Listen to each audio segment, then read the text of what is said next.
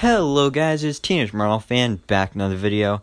And as you probably know, Venom 2 is expected to release in theaters on October 2nd, 2020. At least for now. I mean, with what's going on in the world right now, things can always change. And it wouldn't surprise me if it did. Um, but we know that Venom 2 is going to feature Carnage. Cletus Kasady will become Carnage in this movie, and he will face off against Venom. Um, now, with basically any movie that's like a comic book adaptation, when we find out a certain character is going to be in the movie, we always wonder what the character is going to look like and if it's comic accurate. And uh, of course, things are always changed so that they have a modern update because some comic outfits would look a little silly on the big screen, but hopefully they're usually co- comic accurate. Um, but now we've actually gotten a leak for what Carnage may look like in this film. Now, I'm not sure if this leak is actually true, although I think it is maybe, and I'll talk about that a little later when I actually show you it. Um, but actually, I'll just show you now. So, this is our leaked first look at Carnage in this movie. Um, now, as you can tell, it's not much. It's pretty much just a symbiote. Um, but one thing that's interesting to note is that in that post-credit scene for the first Venom movie, we saw him, we saw Cletus Kasady, and he was in the Ravencroft in, insane asylum or hospital or whatever, and he was in a cage basically, and this Carnage symbiote is in a cage as well. So this leads me to think that this is going to be heavily comic accurate, and it will be just like it was in the comics, where Carnage will come into Cletus's cell and basically help him escape and break out. Um, and this actually looks like it's right after they bonded because, as we saw in the first Venom film, when a symbiote doesn't have a host, it's pretty much just a blob sitting there on the ground.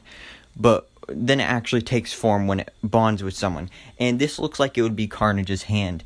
And once again, more comic accuracy with the red and black there, as well as the sharp, pointy claws, like the really long claws. That's very comic accurate with when it comes to Carnage.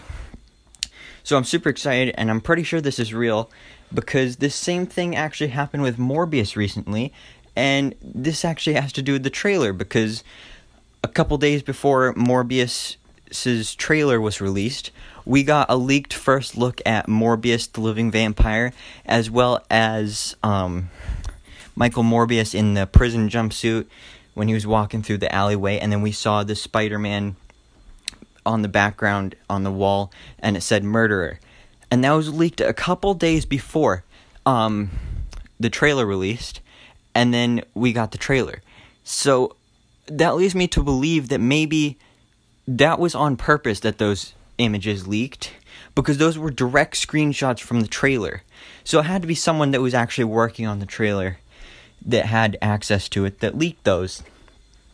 So maybe they put those out there just to hype up the trailer, and now maybe they're doing the same thing with Venom 2. They put out this quote unquote leaked photo of Carnage to hype us up for the trailer, and maybe this means that Venom 2 t- trailer is coming very soon because we don't really have much entertainment left in the world right now.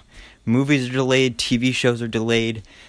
Um, so this would be a great time for Sony to take advantage of the situation and give us something to talk about in the superhero world and give us this Venom 2 trailer where we can see Carnage and possibly even Shriek, who we know is going to be in this movie. Um, and I'm just super excited for it.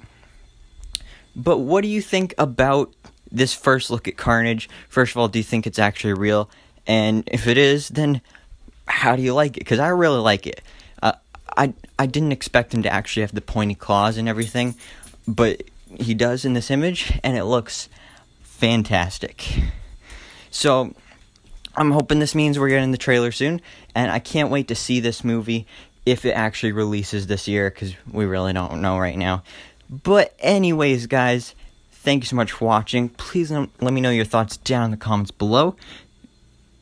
And please remember to like, comment, and subscribe. And hope to see you in my next video, so I bestow all my Marvel knowledge upon you.